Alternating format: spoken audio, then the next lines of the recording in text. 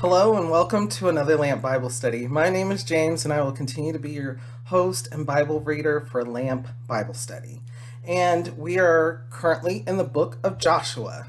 And so where we left off was Joshua was getting ready to go and go towards um, Jericho and actually had crossed the Jordan to Jericho.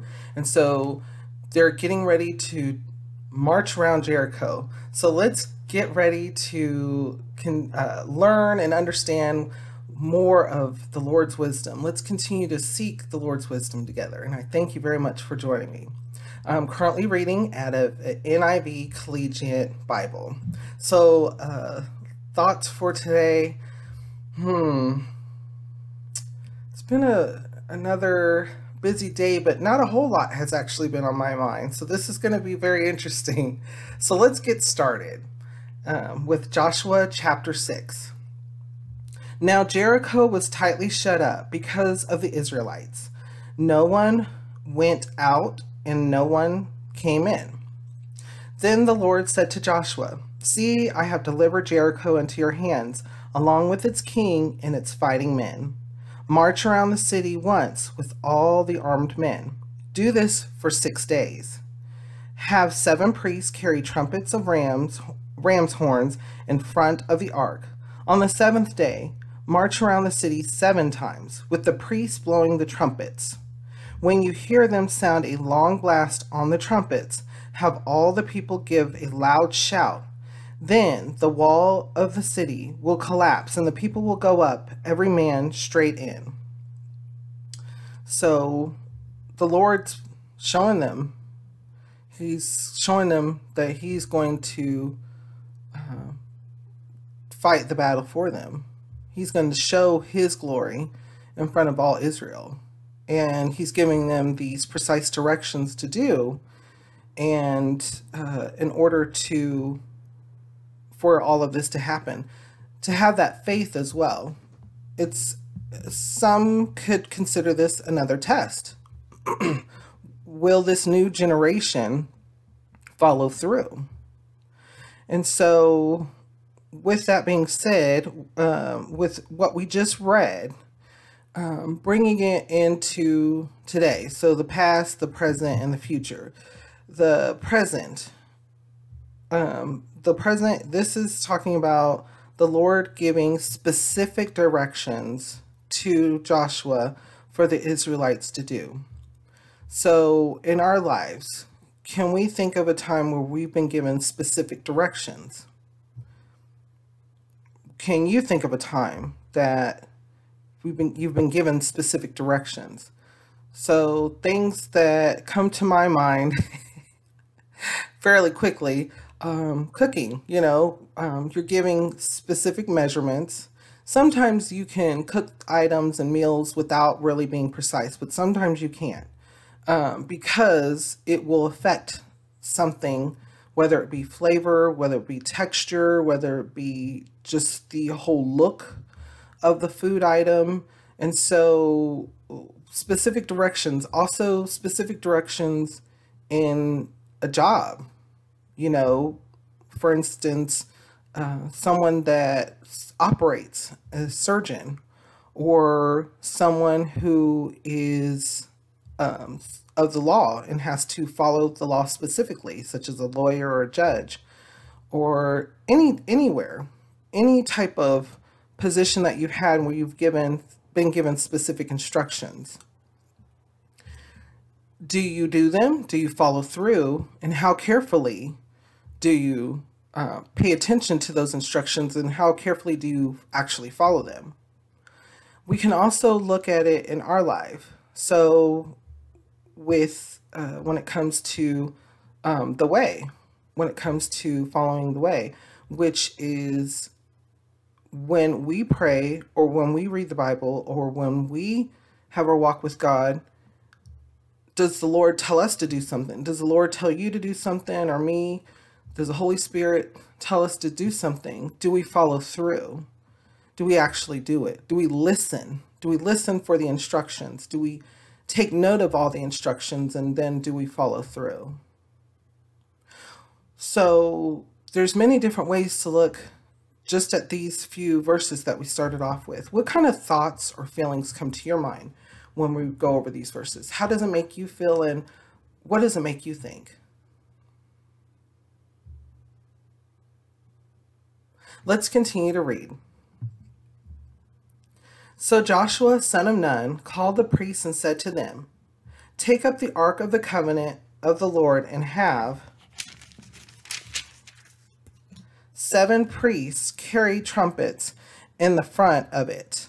And he ordered the people, Advance, march around the city with the armed guard going ahead of the ark of the Lord. When Joshua had spoken to the people, the seven priests carrying the seven trumpets before the Lord went forward, blowing their trumpets, and the ark of the Lord's covenant followed them. The armed guard marched ahead of the priests who blew the trumpets, and the rear guard followed the ark. All this time the trumpets were sounding, but Joshua had commanded the people Do not give a war cry, do not raise your voices. Do not say a word until the day I tell you to shout. Then shout. So he had the ark of the Lord carried around the city, circling it once. Then the people returned to camp and spent the night there. Oh, uh, just, just think. Um, so, nation going to war against another nation, and the Lord's giving them specific instructions because He's going to show His glory and he tells he does that sometimes you know? He tells us to be prepared and be ready um, for a battle that he's already won that he's already done for us. And also thinking about it how would it feel or what it would look like to see a, like a, a group of people marching around your city you know? And not saying anything um, but you see something that's they're carrying in front of them, and then you see trumpets blasting. How how how would the people react to seeing that, knowing that those people were there because of what they've heard, what they heard, which was the Lord's getting ready to give them their, this land that they're currently on. And so um, I think it's there's all kinds of thoughts and feelings here when it comes to how this battle's playing out. And it also goes to show that Joshua was telling them exactly what the Lord had commanded, and the people were following through. Let's continue to read. Joshua got up early in uh, early the next morning, and the priests took up the ark of the Lord. The seven priests carrying the seven trumpets went forward, marching before the ark of the Lord and blowing the trumpets. The armed men went ahead of them, and the rear guard followed the ark of the Lord, while the trumpets kept sounding. So on the second day, they marched around the city once and returned to the camp. They did this for six days. On the seventh day, they got up at daybreak and marched around the city seven times in the same manner, except that on that day they circled the city seven times. The seventh time around, when the priest sounded the trumpet blast, Joshua commanded the people, Shout, for the Lord has given you the city. The city and all that is in it are to be devoted to the Lord.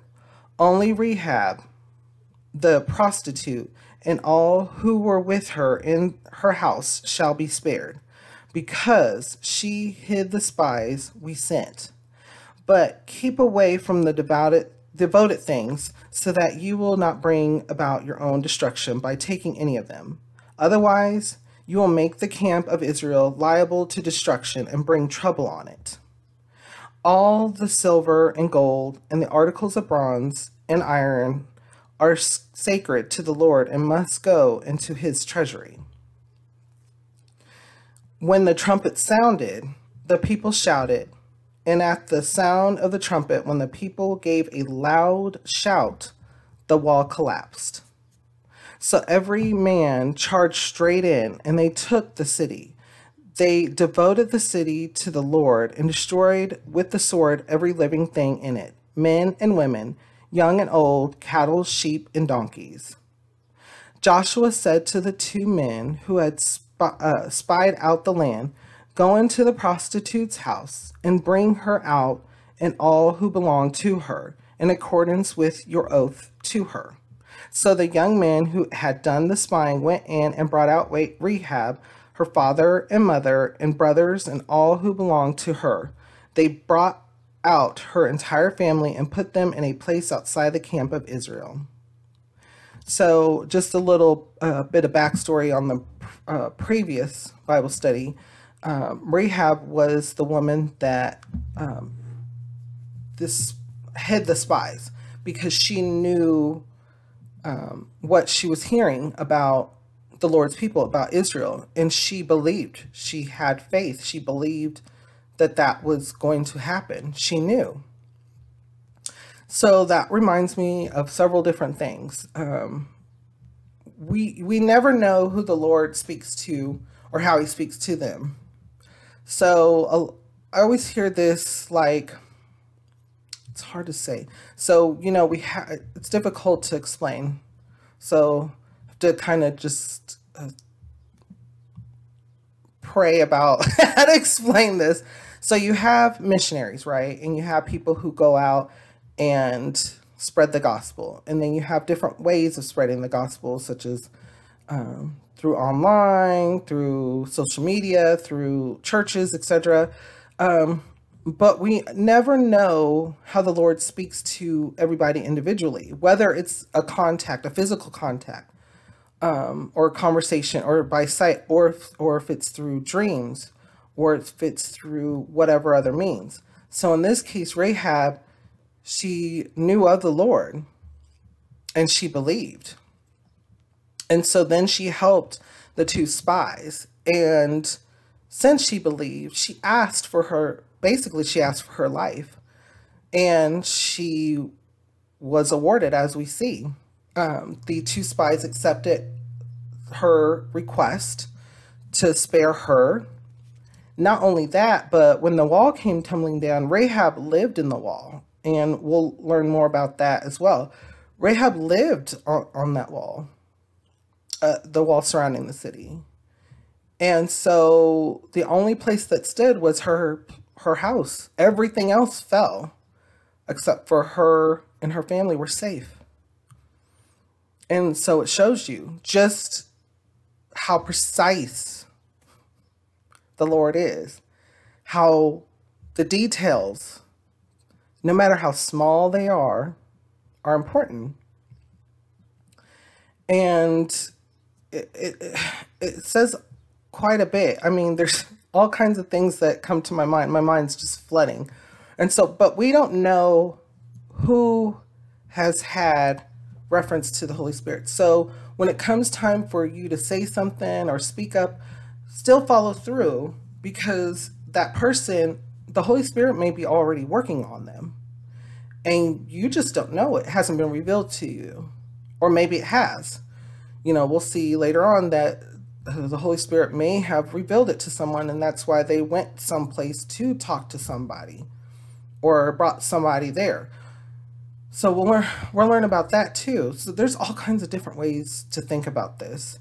Um, faith, deliverance, following through, um, even acknowledging the little things, the details. So the little things, another thing just flooded through my mind when it comes to detail. detail, including the things that we humans say little, but nothing's little. Nothing's little.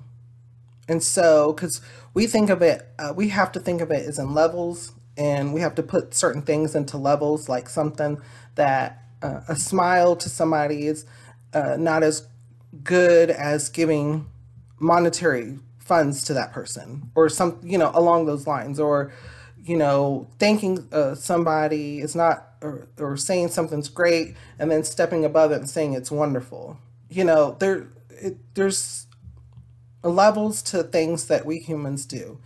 And so when it comes to the small things, which are again are not small, everything's important. So let's say that where I'm going with this, uh, you're in public, and I know, uh, I I think we I mentioned this before, like, because in, in some cultures it's um, not okay to look at somebody in the eyes. Um, but you acknowledge the person. You can smile. You can wave. You can say hello. You can um, communicate. Those things can change somebody. You never know because it could be something that they're going through and some type of acknowledgement, some type of some type of goodness, some ty- something even as little as a smile can change somebody and can change their reaction or thought process, which can make a huge difference. It can prevent things from happening.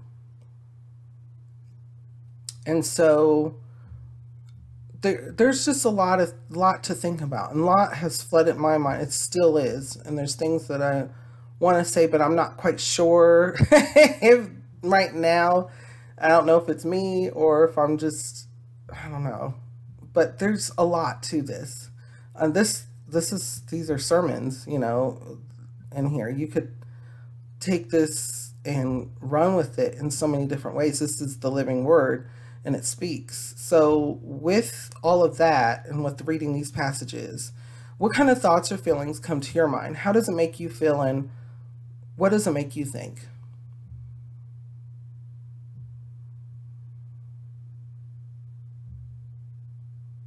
Let's continue to read. Then they burned the whole city and everything in it. But they put the silver and gold and the articles of bronze, iron, into, and iron into the treasury of the Lord's house.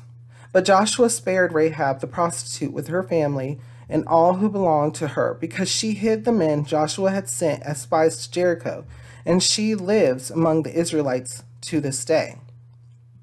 Rahab's very important take note of her because she's going to be brought up all throughout the Bible, including the New Testament, because she plays a very key role.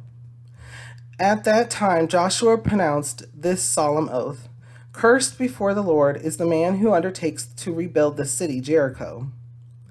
At the cost of his firstborn son will he lay its foundations, at the cost of his youngest will he set up its gates. Take note of this curse, too. Very interesting. So the Lord was with Joshua and his uh, and his fame spread throughout the land. I mean, you have someone who listened to the Lord, and he not only did he lead the people and he told them what to do to cross the Jordan on dry land. You know, the Lord uh, dried up the Jordan for them the whole Israel to cross over to Jericho. Then they marched around the city, and the city walls fell to the ground. And they were e- they easily overtook the city. So, by word of mouth, that spread. And so, all of that was probably terrifying to all the nations around because they knew that this was the time, that this was the time that Israel was coming to accept the, their their promised land. Also, it was something that is saw was seen and done by the current Israelites. And so it was something that they could see was a follow through and now rely on even more so. So they had faith. They did what they were told. They walked around the city seven times, or, you know, they walked around the city and then the trumpets blast and they shouted and the walls came tumbling down, just like the song. And, uh, the song I sang in the last Bible study. and so now they're seeing that they have a living God this generation is now seeing the wonders as well. And things that come to mind bringing the past to the present are do we see wonders? Do you see wonders? Do I see wonders that happen? Do you hear about wonders that happen still to this day? I know I do. And I absolutely believe that wonders still happen. I believe the Lord sends his angels or the Lord does it himself.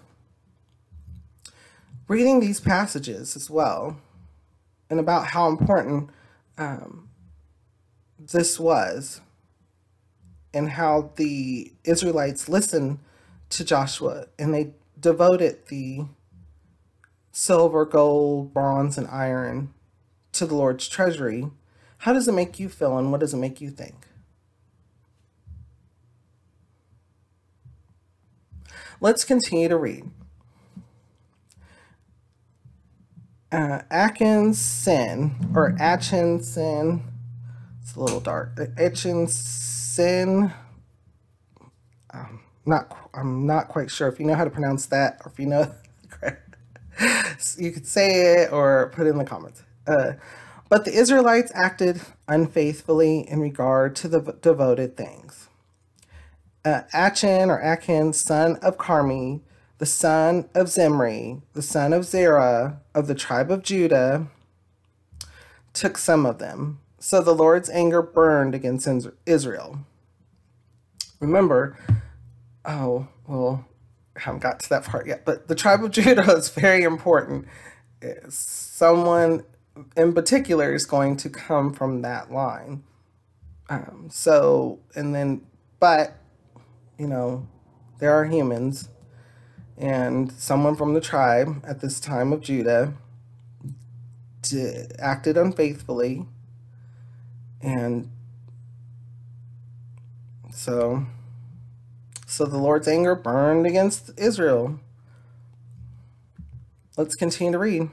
Now Joshua sent men from Jericho to, uh, to Ai, which is near Beth Aven, to the east of Bethel, and told them, Go up and spy out the region. So the men went up and spied out Ai. When they returned to Joshua, they said, Not all the people will have to go up against Ai. Send two or three hundred men to take it, and do not weary all the people, for only a few men are there. So about 300 uh, so about 3000 men went up. But they were routed by the men of Ai, who killed about 36 of them. They chased the Israelites from the city gate as far as the stone quarries and struck them down on the slopes. At this, the hearts of the people melted and became like water because the Lord was angry with them. Once again, they were not following the directions. Once again, they had not followed through. Once again, they were acting unfaithfully.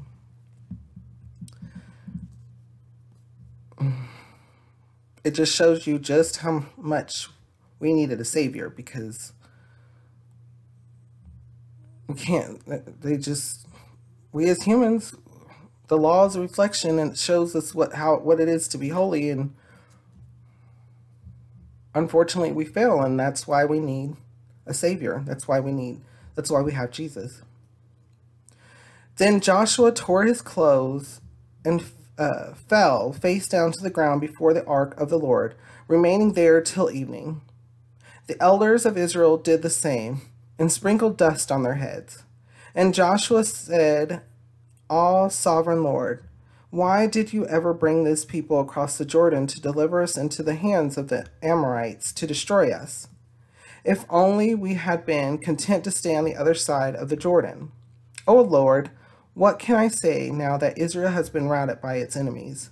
The Canaanites and the other people of the country will hear about this, and they will surround us and wipe out our name from the earth. What then will you do for your own great name? So, Joshua was upset. He was crying out, but he was also reminding the Lord that the you know the, they were his, his people, and so he's asking the Lord, you know, what what to do. And sometimes we can feel down. You know, sometimes we can feel.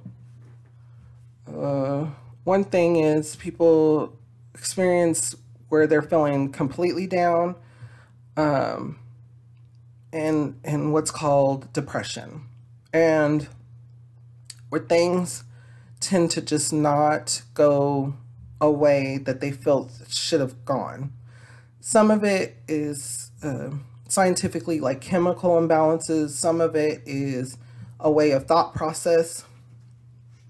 And so, um, one thing definitely, definitely to rely on is God, to to pray to Jesus.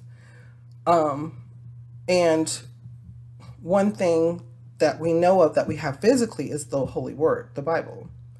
And so, this will this will help. This and having faith in it will help tremendously.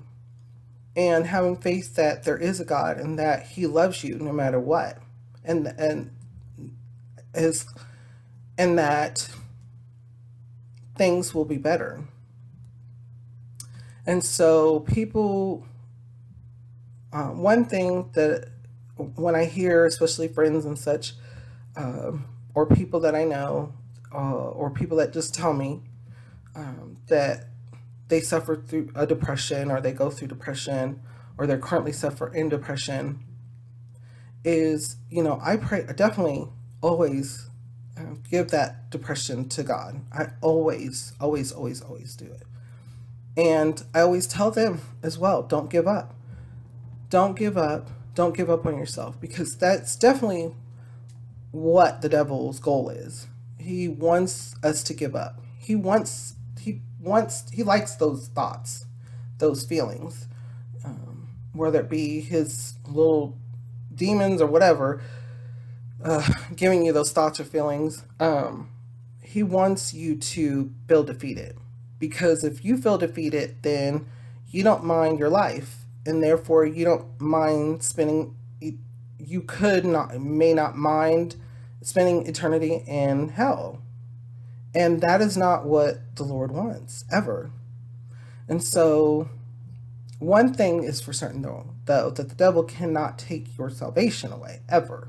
Once you have faith in the Lord, once you um, ask Jesus into your heart, that can never be taken away. And that is a comfort that you always have. Even if you start going into depression, you can utilize that as strength as that hope, as that hope, at that light at the end of the tunnel. And so when it comes to this, though, uh, when it comes to Joshua, he was utilizing how he felt and he was telling truth that they were brought up out of uh, Egypt and that they were, they did cross the Jordan he didn't necessarily mention Egypt here, but he he was telling he was saying that they crossed the Jordan to go into the promised land, and now they're being routed. So let's continue to read and see what exactly um, happens. And before we continue to read, though, what kind of thoughts or feelings come to your mind um, about what we just read uh, in modern day? How does it make you feel and what does it make you think?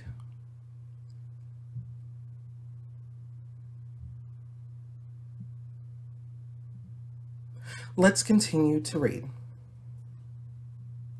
The Lord said to Joshua, Stand up. What are you doing down on your face? Israel has sinned. They have violated my covenant, which I commanded them to keep. They have taken some of the devoted things they have stolen, they have lied, they have put them with their own possessions. That is why the Israelites cannot stand against their enemies. They turn their backs and run because they have been made liable to destruction. I will not be with you any more unless you destroy whatever among you is devoted to destruction. Go consecrate the people, tell them, consecrate themselves in preparation for tomorrow, for this is what the Lord, the God of Israel, says That which is devoted is among you, O Israel. You cannot stand against your enemies until you remove it. So, this is back again in the law and under the law. And this shows us that time and time again, when us humans try to live under the law and to be completely holy, we fail. But it's not meaning that we're destined to fail. So I hear that too. It's like, oh, well, I'm alive, I'm a sinner, and I'm just going to sin and burn in hell. No, that's not that's something that the devil wants absolutely because he's already jealous he's already jealous because he wants to be worshiped and he wants to be thought of as some as he already knows where he's headed to anyways he knows that the lord's word is true but he wants to take as many people with him and so if you lose that opportunity and that's not what the lord wants the lord is not going to force us to accept his son. He will eventually. you know, uh, if you did did not, unfortunately, you will be going to eternity without him. After acknowledging that he is the Lord, um, he, the Lord wants us to be not only happy, but our cup overfloweth. He wants us to. He wants to provide overly abundantly for us, and he wants to spend eternity with us. And with that, he knew from the very beginning that in order to be holy, he needed to do something. He was going to have to do something. And so, by faith, uh, we trust in Jesus, who died for our sins. So that way, he that Jesus is the fulfillment of the law. He did live up to the law. And uh, when it comes to today, I know that when my myself, when I'm off, when I'm off and I'm not, I know I'm not walking the way correctly, I tend to feel like things definitely happen to me quite immediately. and I always think of the, the line, uh, that's in the Bible, you know, first to the Jew and then to the Gentile. And I'm like, I do something and it happens to me immediately. Like I usually, you know, that's the way I feel sometimes. Sometimes, you know, it may not happen immediately. Things can't that go wrong or bad things can happen eventually. And it's not to say that we deserve bad things to happen to us because we're all sinners. No, but the Lord is righteous and the Lord knows he can he's justified to punish when he when he sees fit. We are his children. And it's better to not get punished. But if you do have to get punished, it's better just to get it to, to, to it's it's it's better not to get punished period let's just let's just let's just go with that it's so therefore trying to uh, walk in the way and um, that's the best bet because being someone who believes we won't have eternal punishment that's what i was wanting to say is there's a difference between something that's punished here than eternal punishment. And that's for not believing um, that Jesus is our Savior. So, with all of that,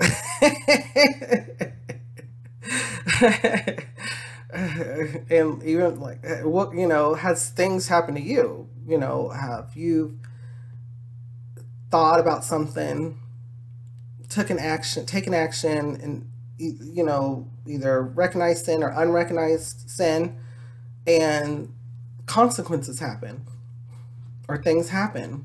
You know, you may have even thought it was something good, good in a bad way.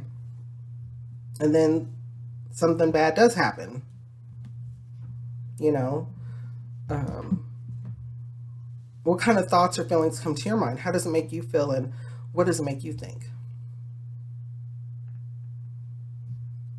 Let's continue to read.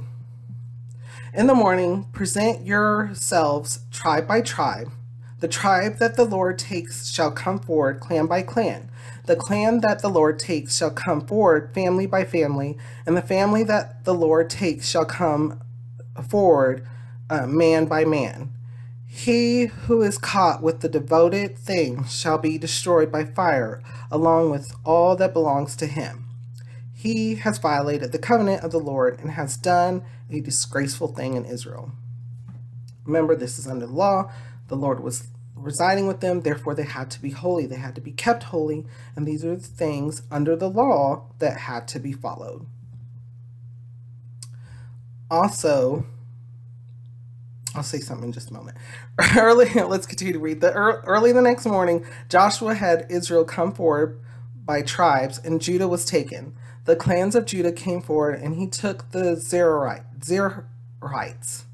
He had the clan of Zerahites come forward by families, and Zimri was taken. Joshua had his family come forward by, man by man, and Achan, son of Cam- Carmi, the son of Zimri, the son of Zerah of the tribe of Judah, was taken. Uh, quick pause. So again, back then they had they fully relied on the Lord, fully, and we need to do so to to this day and have that faith.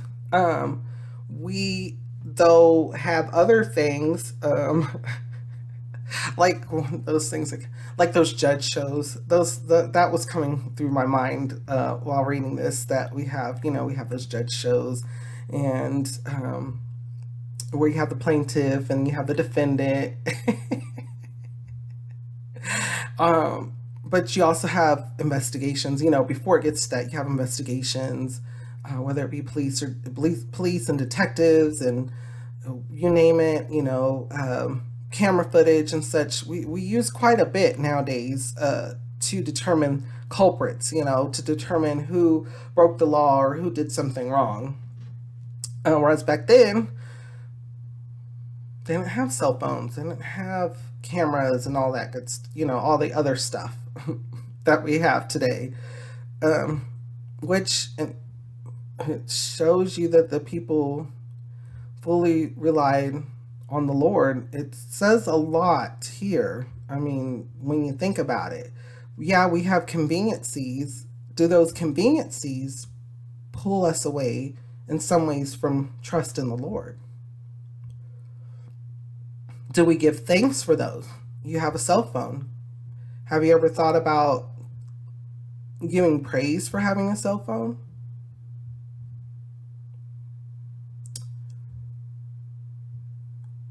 I mean, there's a there's a lot of ways to look at this. What kind of thoughts or feelings come to your mind? How does it make you feel and what does it make you think?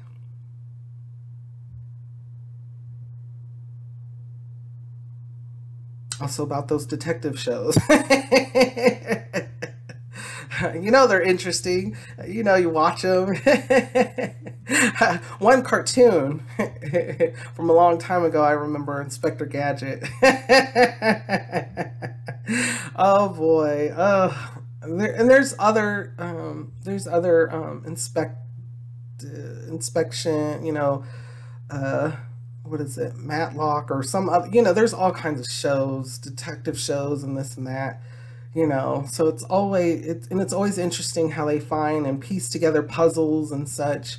Um, one that went um, off a little while ago was, I think it was called Psych.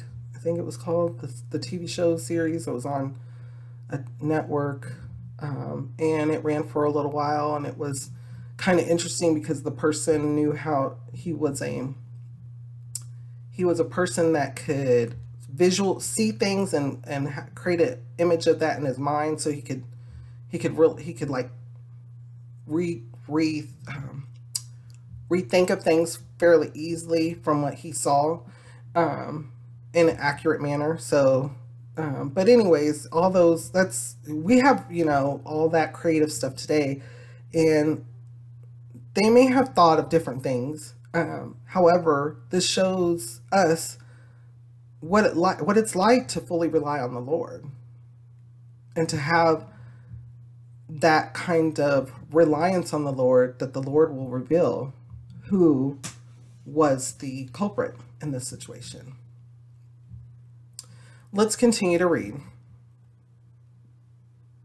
Um, then Joshua said to Achan, or Achan, My son, give glory to the Lord, the God of Israel, and give him the praise. Tell me what you have done. Do not hide it from me. Achan replied, It is true. I have sinned against the Lord, the God of Israel. This is what I have done. When I saw in the plunder a beautiful robe from Babylonia, 200 shekels of silver, and a wedge of gold weighing 50 shekels. I coveted them and took them. They are hidden in the ground inside my tent, with the silver underneath. So Joshua sent messengers, and they ran to the tent, and there it was, hidden in his tent with the silver underneath. They took the things from the tent, brought them to Joshua and all the Israelites, and spread them out before the Lord.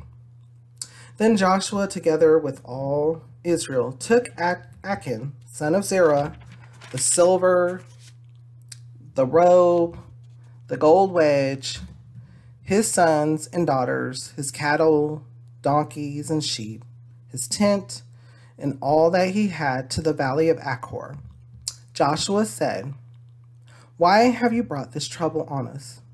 The Lord will bring trouble on you today. Then all Israel stoned him, and after they had stoned the rest, they burned them. Over Achan they heaped up a large pile of rocks, which remains to this day. Then the Lord turned from his fierce anger. Therefore, that place has been called the Valley of Achor ever since. And so that is because, once again, we're talking, we're in the Old Testament, and Joshua's leader, God is residing with his people, Israel, and they have to, they must remain holy. They must remain holy with the Lord. And the wages of sin is death, period no matter what. And oh, I oh, I just got in another like conversation with somebody about that because we as humans, and I bring this up all the time. I bring this up all the time. We as humans, we have to have, we have levels. We have if you rob, you get you know time in jail. If you uh, hit and run, you get more time in jail. If you plot and kill somebody, you get you may even get life in jail or even a capital punishment. And it goes around the world. Different types of punishment for different levels of wrongdoing. And so when it comes to wrongdoing, we as humans, we see it in levels. Punishment uh, with the crime. And even in the Old Testament, and that, you know, when it comes down to it, it may have came from the law, the law, part of the law, you know, eye for eye, tooth for tooth. Some of it. Um, not all. It just depends. It varies by uh, each uh, you know, civilization or, you know, each um, community. And so, but we think of sin, we don't think of it the same as the Lord. Of course not. You know, his thoughts are not our thoughts. He's holy. Um, so we have to ask for understanding. And but it says throughout the Bible, sin is sin. The wages of sin is death. Every single sin. A wrong thought, is the same, is the, a wrong thought, like an evil thought, an evil intent, is the same sin as murder, as same sin as uh, uh, same sin as anything uh, from the Ten Commandments, adultery, etc. Idol worship. It's, it's Everything's the same when it comes to sin. God can't be around it at all. not oh it's just a little i just i i i, I did this little tiny thing. It was just, it didn't really have any uh, significance or any type of uh, major consequence. It's the same. It's the same. You can't be around it. Sin. It's not holy. It deserves death. It deserves to burn. It deserves eternal death. So he the lord knew that already and so that's why he had to send a savior. That's why he had to send his son. So that when we believe in his son and we ask his uh, for Jesus to come into our heart, when he sees us, because not only did he make us in his own image, but he also sent his son, right? And then we accept him. He sees he sees the son in us. He sees his son in us who lived by the law. And forgives us of our sins. And that just shows us how, once again, how the law was in the Old Testament.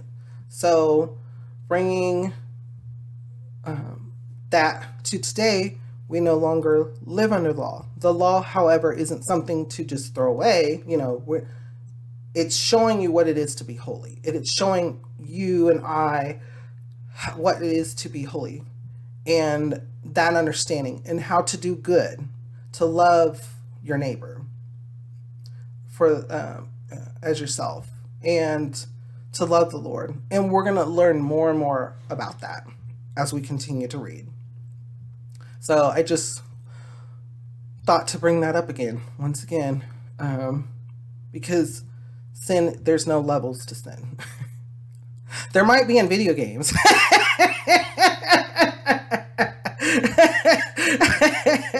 but once again, that's that, that's not the you know that's it's not a spiritual walk. It's baby fun, but it's not. It's not. It may not be necessarily how we look at it as humans. You know, we have different punishments for different crimes. So, however, all sin is the same when it comes to the Lord. Ah, more wisdom. Let's con- uh, what kind of thoughts or feelings come to your mind? How does it make you feel, and what does it make you think? Let's continue to read. At or Ai destroyed. Then the Lord said to Joshua, "Do not be afraid. Do not be discouraged. Take the whole army with you and go up and attack Ai For I have delivered into your hands the king of Ai, his people, his city, and his land. You shall do to Ai and its king as you did to Jericho and its king, except that you may carry off their plunder and livestock for yourselves. Set an ambush behind the city. So remember, Jericho was first city. Lord, it's a repeated thing. He wants you to provide him the glory first. Think about that in your life. So you get a great, great job. What do you do? Do you celebrate? You're like, oh my gosh, I got an awesome job. I got, I got this money. Or you get something. You, you oh, I did it. Where's the Lord in that? Uh, I know. I know. I'm a sinner. The least of all, trust and believe. Chocolate cake.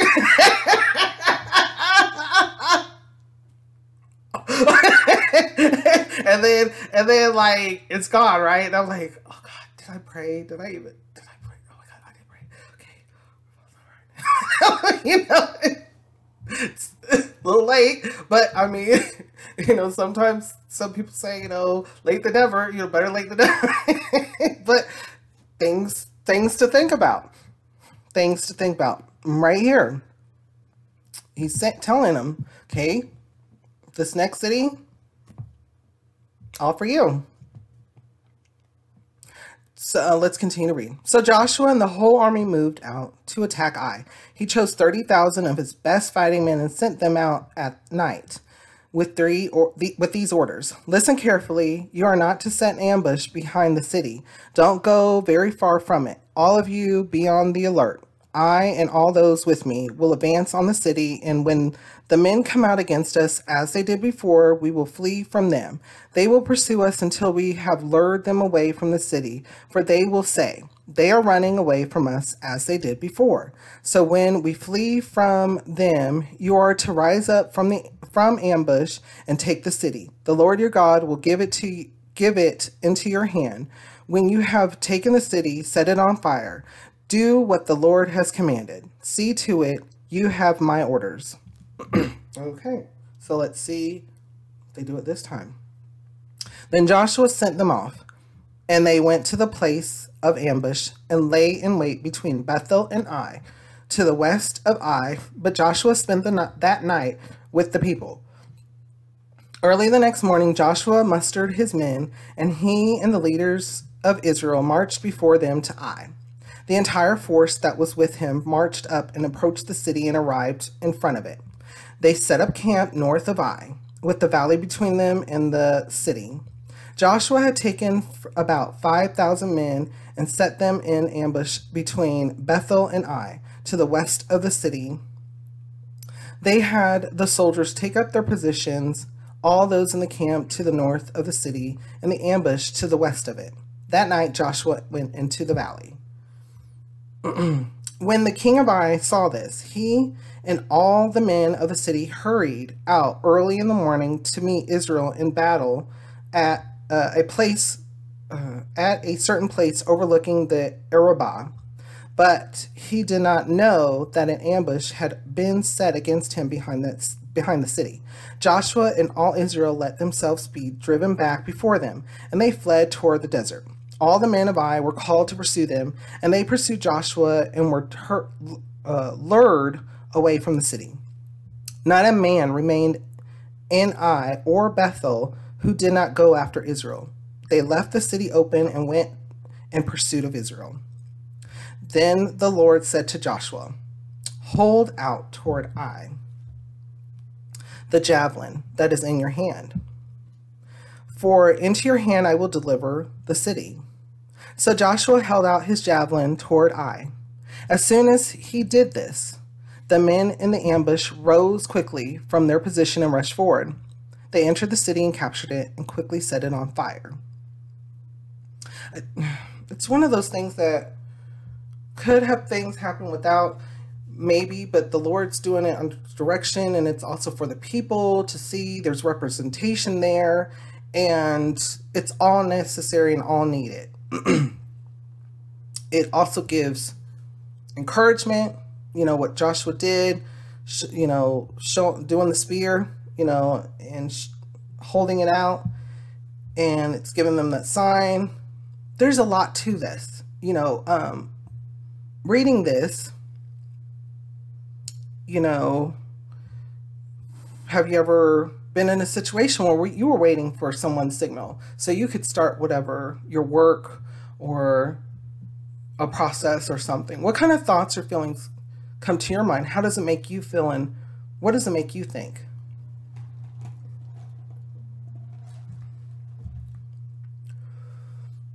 Let's continue to read.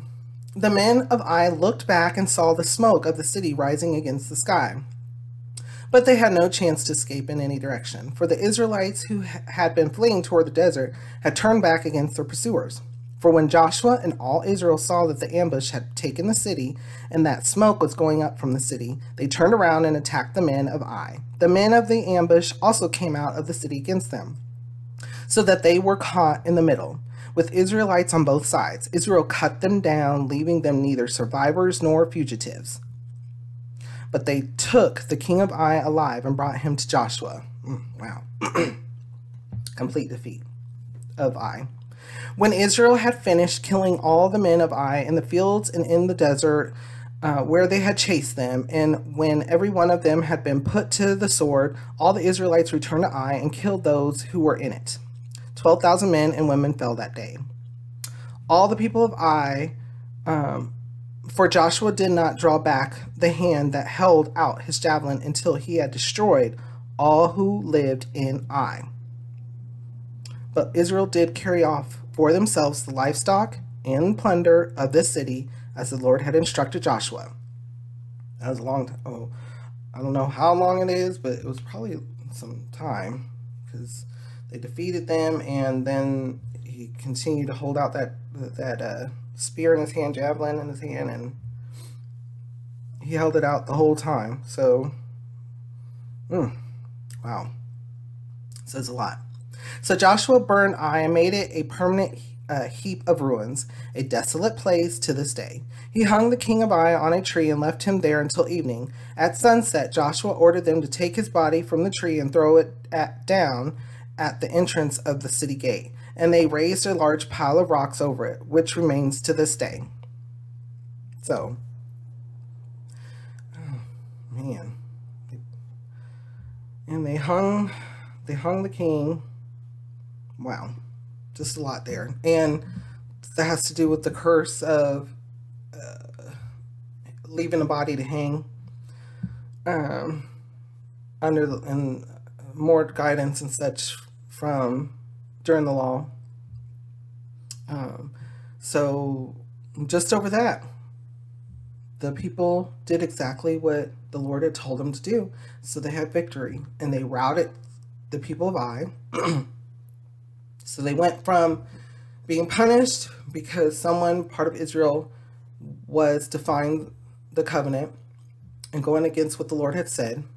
And then they got rid of that. They corrected themselves. They consecrated themselves. Then went to did exactly what the Lord told them to do. Were able to go to battle, rout Ai, completely destroy it, and were able to take the plunder for themselves reading these passages, what kind of thoughts or feelings come to your mind? How does it make you feel and what does it make you think? It looks like we may go over today. the covenant renewed at Mount Ebal. Then Joshua built on Mount Ebal an altar to the Lord, the God of Israel, as Moses, the servant of the Lord, had commanded the Israelites. He built it according to what is written in the book of the law of Moses, an altar of uncut stones on which no iron tool had been used. On it, they offered to the Lord burnt offerings and sacrifice fellowship offerings. There, in the presence of the Israelites, Joshua copied on stones the law of Moses, which he had written. All Israel, aliens, and citizens alike, with their elders, officials, and judges, were standing on both sides of the Ark of the Covenant of the Lord, facing those who carried it the priests who were Levites. Half of the people stood in front of Mount Gerizim, and half of them in front of Mount Ebal, as Moses, the servant of the Lord, had formally commanded when he gave instructions to bless the people of Israel. Remember, half the tribe or half the people went over to one mount, the other ones went to Mount, uh, the other mount, uh, half said blessings, half said cursings. Another representation, basically, of what uh, Joshua's um, trying uh, replicating.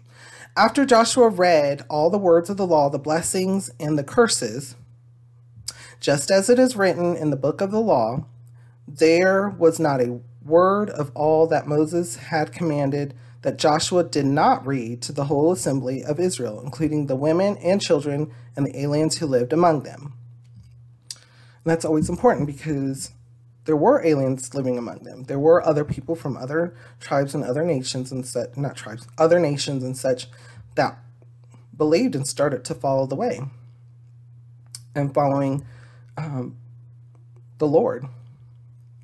And so, um, with that, with what we just read, what kind of thoughts or feelings come to your mind? And for instance, uh, again, bringing past and the present, the read the law and uh, the blessings and the cursings, and we know that every single human won't be won't is not able to stand up to the law, and so that's why we needed the Lord. We needed a Savior, which is Jesus. And um, what kind of thoughts or feelings come to your mind reading these passages about the success of Israel? um, in your success? How does it make you feel and what does it make you think? When you are following the way, because all good things comes come from above. So you are following the way. When you ever have that doubt, just look back and think, has th- have things been good? Think about those things. Let's continue to read. The Gibeonite, Gibeonite deception. Oh boy. Now, when all the kings west of the Jordan heard about these things, those in the hill country, in the western foothills, and along the entire coast of the Great Sea as far as Lebanon, the kings of the Hittites, Amorites, Canaanites, Perizzites, Hivites, and Jebusites, they came together to make war against Joshua and Israel. However, when the people of Gibeon heard what Joshua had done to Jericho and Ai, they resorted to a ruse. They went as a delegation whose donkeys were loaded with worn out sacks and old wineskins, cracked and mended. The men put worn and patched sandals on their feet and wore old clothes. All the bread of their food supply was dry and moldy. Then they went to Joshua in the camp at Gilgal and said to him and the men of Israel, We have come from a distant country. Make a treaty with us. The men of Israel said to the Hivites, But perhaps you live near us. How then can we make a treaty with you? We are your servants, they said to Joshua. But Joshua asked, Who are you and where do you come from? You know, these are good questions, right? Hmm, something's fishy. Uh, let's continue. Uh, they answered, your servants have come from a very distant country because of the fame of the Lord your God. We're still being vague. For we have heard reports of him, all that he did in Egypt, and all that he did to the two kings of the Amorites east of the Jordan Sihon, king of Heshbon, and Og, king of Bashan, who reigned in Ashtaroth. And our elders and all those living in our country said to us, Take pro- uh, provisions for your journey, go and meet them, and say to them, We are your servants, make a treaty with us. This bread of ours was warm when we packed it at home on the day we left to come to you. Hmm. But now see how dry and moldy it is, and these wineskins that we filled were new. But now how but see how cracked they are, and our clothes and sandals are worn out by the very long journey. The men of Israel sampled their provisions, but did not inquire of the Lord. Let's, I'm going to read that again. Because the men of Israel sampled their provisions, but did not inquire of the Lord. There's the issue. There's the issue. Then Joshua made a treaty of peace with them to let them live, and the leaders of the assembly ratified it by oath.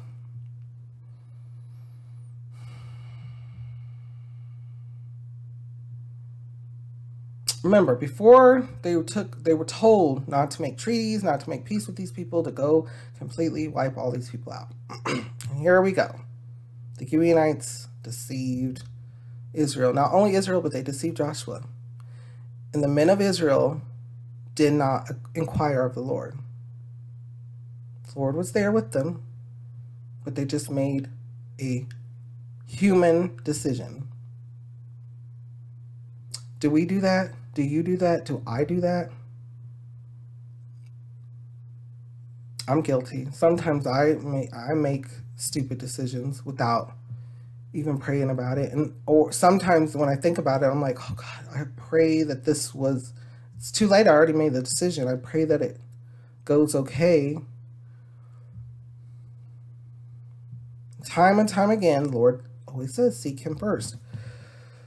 Here we go, you know.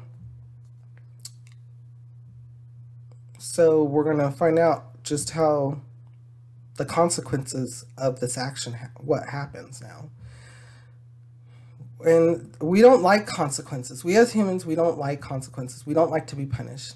But unfortunately, we have to take accountability and acceptance. So, what kind of thoughts and feelings come to your mind? I know this is this can be hard. This can be difficult, and uh, especially when things go bad Sometimes it's not our fault. Sometimes it's not something that we did, but in a lot in circumstances it is. In in other circumstances it it, it is. So not everything, but in some circumstances when bad things happen or negative things happen, it, it's something that we may have did or were a part of. So we have to accept those consequences. And we have and the best way to accept them is just to give it to the Lord and and not remember to thank him, you know, thank him, uh, but also, you know, tell him, please be with me, protect me. You know, I understand the th- things may be bad, but show me the light, you know, show me the error of my ways, giving it back. What kind of thoughts or feelings come to your mind? How does it make you feel and what does it make you think? Let's continue to read. Three days after they made the treaty with the Gibeonites, the Israelites heard that they were neighbors living near them. So the Israelites set out on the third day, came to their cities, Gibeon, Kephirah, or Kephirah, Beeroth, and Kiriath Jearim. But the Israelites did not attack them, because the leaders of the assembly had sworn an oath to them by the Lord, the God of Israel. And remember, the Lord said, if you don't do this, if you don't go and destroy them, they're going to be thorns and thistles among you. The, uh, the whole assembly grumbled against the leaders, but all the leaders answered, We have given them our oath by the Lord, the God of Israel, and we cannot touch them now. This is what we will do to them. We will let them live, so that wrath will not fall on us for breaking the oath we swore to them. They continued, Let them live, but let them be woodcutters and water carriers for the entire community. So the leaders promised to them so the leader's promise to them was kept. Then Joshua summoned the Gibeonites and said, Why did you deceive us by saying, We live a long way from you, while actually you live near us? You are now under a curse. You will never cease to serve as woodcutters and water carriers for the house of my God. They answered Joshua, Your servants were clearly told how the Lord your God had commanded his servant Moses, and to give uh, you the whole land and to wipe out all the inhabitants from before you. So we feared for our lives because of you, and that is why we did this. We are now in your hands. Do to us whatever seems good and right to you. The question is, did that curse come from man, Joshua, or did it come from God? We'll find out because remember, whoever they didn't destroy becomes thorns and thistles to the Israelites. And these people had their own way. They didn't worship God. They worshiped their own gods. That's the truth.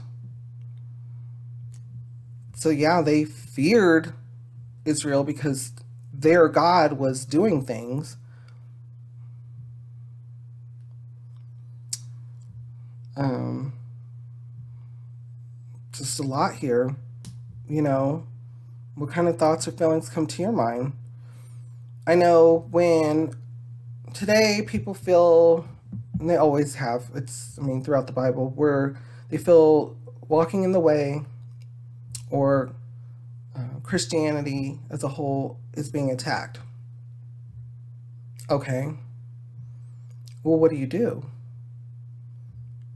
It says to be faithful, to continue to walk in the way.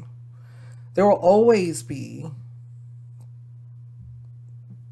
things that come against you. There will always be people who don't believe in Christianity.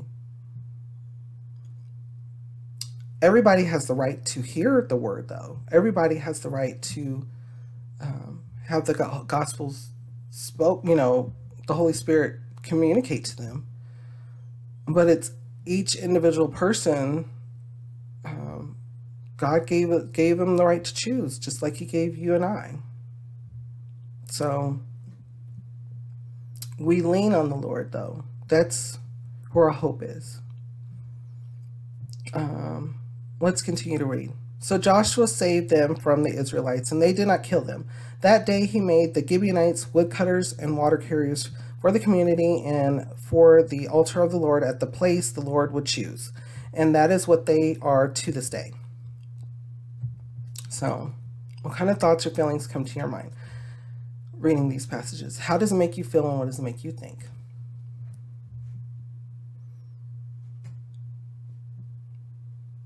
For me, it's just reassurance and reaffirming that we need Jesus.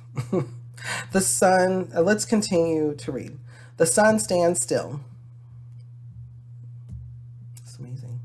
Now Adon, Adonai Zedek, king of Jerusalem, heard that Joshua had taken Ai and totally destroyed it, doing to Ai and its king as he had done to Jericho and its king and that the people of Gibeon had made a treaty of peace with Israel and were living near them. He and his people were very much alarmed at this because Gibeon was an important city. Like one of the royal cities, it was larger than Ai, and all its men were good fighters. So Adonai Zedek, king of Jerusalem, appealed to Hoham, king of Hebron, Piram, king of Jarmuth, Japhia, king of Lachish, and Debir, king of Eglon, come up and help me attack Gibeon, he said, because it has made peace with Joshua and the Israelites. Then the five kings of the Amorites, the king of Jerusalem, Hebron, Jarmuth, Lachish, and Eglon, joined forces. They moved up with all their troops and took up positions against Gibeon and attacked it. The Gibeonites then sent word to Joshua in the camp of Gilgal Do not abandon your servants. Come up to us quickly and save us. Help us, because all the Amorite kings from the hill country have joined forces against us. Has already begun. A thorn in the side. So Joshua marched up from Gilgal with his entire army, including all the best fighters, fighting men. The Lord said to Joshua, Do not be afraid of them. I have given them into your hand. Not one of them will be able to withstand you. After all after an all night march from Gilgal, Joshua took them by surprise. The Lord threw them into confusion before Israel, who defeated them in a great victory at Gibeon. Israel pursued them along the road going up to Beth Horon and cut them down all the way to Azekah and Makkedah. Makkedah. As they fled before Israel on the road down from Beth Horon to Az Azekah, the Lord hurled large hailstones down on them from the sky. And more of them died from the hailstones than were killed by the swords of the Israelites. Take note. The Lord does the battles for us over and over again. On that on the day the Lord gave the Amorites over to Israel, Joshua said to the Lord in the presence of Israel, O sun, stand still over Gibeon, O moon, over the valley of Aijalon. So the sun stood still and the moon stopped, till the nation avenged itself on its enemies. As it is written in the book of Jashar, the sun stopped in the middle of the sky and delayed going down about a full day. There was ne- there has never been a day like it before or since, a day when the Lord listened to a man Surely the Lord was fighting for Israel. Amen. Surely the Lord was fighting for Israel. Then Joshua returned with all Israel to the camp of Gilgal. So you're walking in the way. You ask things from God that God that we have a living God, the Lord our Savior. You ask and you shall receive. Have that faith. Anything that you ask for that's following in the way, you will receive. that anything you ask for, think about that. Because Jesus is going to say it over and over. He's like, if you have faith, you can tell this mountain to move over from here to there, and it'll happen. That power comes from God, from the Lord. And think about it today. You're like, well, I don't see many mountains moving today. Is that a good thing or a bad thing?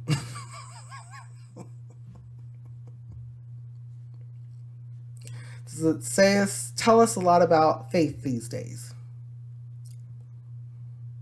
Is it necessary though? Is it always necessary for something, for a man wanting to have something so he can visualize it, so he can see it? So you got to think about that too. Having faith in the Lord provides actions, provides things for us, changes things makes things that may naturally happen. A person falls off a ledge, a hundred foot ledge. They survived. How? You know, it makes you think. It makes you think, and that's what it's supposed to do. That's what the word is supposed to do. So, reading that, the sun was delayed.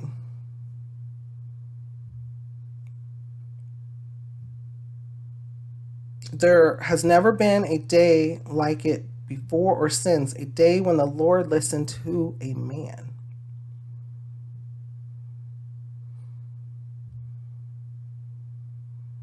So Joshua too had faith. And he brought his request to God. And God answered and provided once again. What kind of thoughts or feelings come to your mind? How does it make you feel and what does it make you think? Let's continue to read. Five Amorite kings killed. Now the five kings had fled and hidden in the cave of Makkedah, or at Makkedah, when Joshua was told that the five kings had been found hiding in the cave of Makkedah, if you know how to pronounce it, uh, he said, Roll large rocks up to the mouth of the cave and post some men there to guard it. But don't stop. Pursue your enemies, attack them from the rear, and don't let them reach their cities, for the Lord your God has given them into your hand. So Joshua and the Israelites destroyed them completely, almost to a man, almost to a man, but the few who were left reached their fortified cities. The whole army then returned safely to Joshua in the camp of at Makkedah, and no one uttered a word against the Israelites. Joshua said, Open the mouth of the cave and bring those five kings out to me. So they brought the five kings out of the cave, the kings of Jerusalem, Hebron, Jarmuth, Lachish, and Eglon. When they had brought these kings to Joshua, he summoned all the men of Israel and said to the army commanders who had come with him, Come here and put your feet on the necks of these kings. So they came forward and placed their feet on their necks. Joshua said to them, Do not be afraid, do not be discouraged, be strong and courageous. This is what the Lord will do to all the enemies you are going to fight. Then Joshua struck and killed the kings and hung them on five trees, and they were left hanging on the trees until evening. I want to pause because there's a lot here. A lot. So, this is also something that the Lord talks about when it comes to. This is also another thing that Bible scholars and priests and and and and um, pastors and such go to because this is also according to where we'll read in the New Testament. Um, a sign of how it's going to be um, for Jesus. Jesus is going to put or to place his foot on the neck of man. How is it said? It's the devil. Foot will be placed on the neck, and it was even the snake. Like there's so much representation here when it comes to how things will be eventually and how Satan will be defeated, how sin will be defeated. And that's, there's a lot that um, shows just in these verses representations of that. Um, and so this is kind of like a prophecy as well. would be a prophecy as well. So he's not just talking about Israel right then and there. He's talking about Israel. He's talking about the future. And he may not know it, or he may not be thinking about that, or maybe he is, but he's proclaiming it. And these are signs and wonders that will happen. And he's also saying things that God tells us all the time. Do not be afraid. Uh, the Lord says this over and over again to us. Do not be discouraged. The Lord says this over and over to us. Be strong and courageous. The Lord says this over and over to us. Um, and so he's showing them a visual visual representation of what the Lord will do to all Israel's enemies. Then Joshua struck and killed the kings. Okay, so you have the past, present, and the future. So we have the past, we also have imagery of the future, present. When we are walking in the way, when we are with the Lord, people may try to come against you. And we are not to have the fear. We're to be do not we're not to be afraid. We're to be we're not to be discouraged either. And we're to be strong and courageous, um, proclaiming the word, proclaiming the gospel. And that will help us no matter what.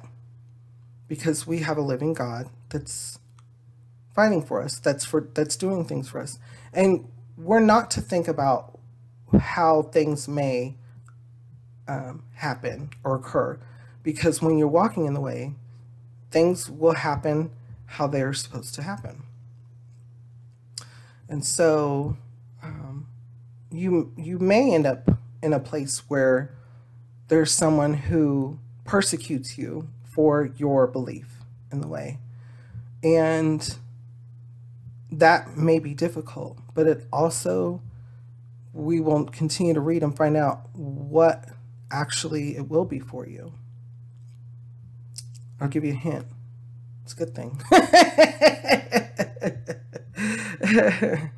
it's a good thing. So, um, but again, people, they mix their own thoughts and feelings into it and they like, well, I am doing this and I am But with other people, especially other people walking the way, have those doubts, there's a reason for it. So go together, go together with other people and ask and pray about it. Because if it's correct, it, it will be correct. For the Lord loves all of us, every single one of, even the person that is persecuting you because you could be that opportunity for them to understand what the Lord's been trying to tell them this whole time. Take those opportunities and chances because it's not what you always think. A lot of people up there thinking that, oh, you gotta you gotta have to do something and the Lord's already doing it for you. All you gotta do is be there and say what the Holy Spirit is leading you to say. There's a lot here. What kind of thoughts or feelings come to your mind when you read over this? How does it make you feel and what does it make you think? Let's continue to read. That day Joshua took Makkedah. He put the city and its kings king to the sword and totally destroyed everyone in it. He left no survivors, and he did to the king of Makkedah as he did as he had done to the king of Jericho. Southern cities conquered.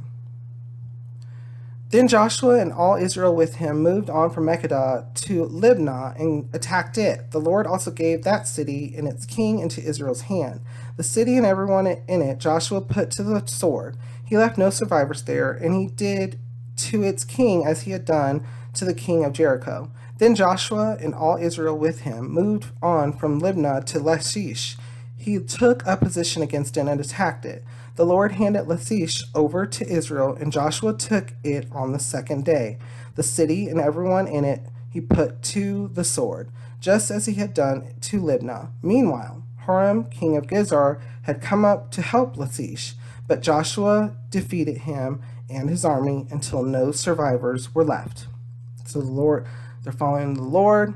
The Lord's working for with with them for them, and they're able to defeat these um, kings in these cities to continue to take the promised land. Then Joshua and all Israel with him moved on from Lachish to Eglon. They took up position against it and attacked it. They captured it that same day and put it to the sword and totally destroyed everyone in it, just as they had done to Lachish. Then Joshua and all Israel with him went up from Eglon to Hebron and attacked it.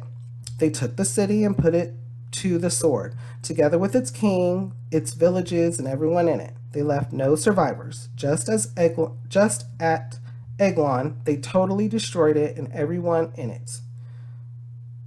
Just as at Eglon. Okay. Then Joshua and all Israel with him turned around and attacked Debir. They took the city, its king, and its villages, and put them to the sword, everyone in it that they totally destroyed. They left no survivors. They did to Debir and its king as they had done to Libnah and its king and to Hebron. So Joshua subdued the whole region, including the hill country, the Negev, the western foothills, and the mountain slopes, together with all their kings. He left no survivors. He totally destroyed all who breathed, just as the Lord, the God of Israel, had commanded. Joshua subdued them from Kadesh Barnea to Gaza and from the whole region of Goshen to Gibeon. All these kings and their lands Joshua conquered in one campaign because the Lord, the God of Israel, fought for Israel. Then Joshua returned with all Israel to the camp Gil- at Gilgal. So, again, this is during the um, Old Testament under the law. This is um, the all those uh, places in Canaan, all the communities of Canaan, and all the king kingdoms and such were under punishment because they did it, all the detestable acts. And they refused to accept God. And so um, the Lord was utilizing Israel. He had already chosen to provide Israel with the promised land, and he was um, giving Israel the promised land. Uh, whereas Israel justified to have it, it was not as the Lord had said. He gave it as a promise they were already they had already sinned you know starting out they had uh, somebody already took stuff that was supposed to be of god of the lord possession that was supposed to be devoted to the lord and took it for himself as you can see so it goes to show us that we need we needed a savior and so um, having trust and faith in the lord um, is what we need and so let's do a quick review. I know it was long today. Our study was long today, and that's okay. We went through the fall of Jericho. Joshua won that battle of Jericho, and the walls came tumbling down. Amen to that. And then remember Rahab. Rahab was uh, saved from um, from the um, uh, Jericho falling, and all the people um, being put to the sword. And then remember Achan or Achan's sin, we just literally talked about, and how he took from the Lord what was supposed to be devoted and what his just punishment was. We talked about Ai and how it was destroyed, but at first it wasn't destroyed because um, Achan. Um, and so when they tried to take it first, they couldn't. But then once they got rid of the person uh, that was standing among them and going against the Lord, then they were able to go and rout Ai. And they continued. They continued to rout um, the different kingdoms. The, uh, they renewed the covenant um, at Mount Ebal, similar to what Moses had done with Israel. Um, then, unfortunately, the Gibeonites came and deceived them who lived in Canaan. And instead of going to the Lord, they made a their own justifying decision. So we'll get to that too, because we'll talk about the Pharisees and the Sadducees when we get to the New Testament and how there's something of that today.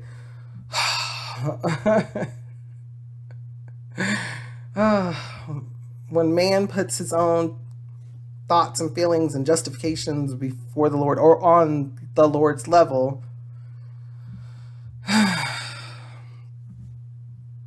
so, and immediately they started being thorns.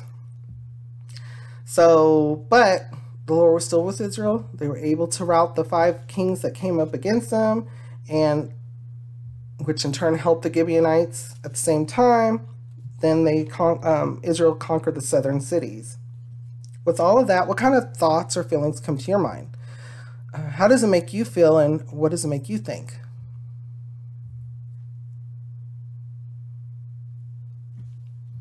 Thank you again for joining me on another Lamp Bible Study. My name is James, and I will continue to be the host and Bible reader of Lamp Bible Study every Tuesday and Thursdays. I always it, very excited. Can't wait for another Tuesday and Thursday so I can do another Lamp Bible Study. I will try to eventually do some live Bible studies. What do you think? You can leave comment and such. Um, I always have recorded ones, but um, I want to maybe do some live ones, you know, and do some uh, live questions and such as we go through each of these Bible studies. So I'll think about it. We'll see. I also do have more flashlights coming on.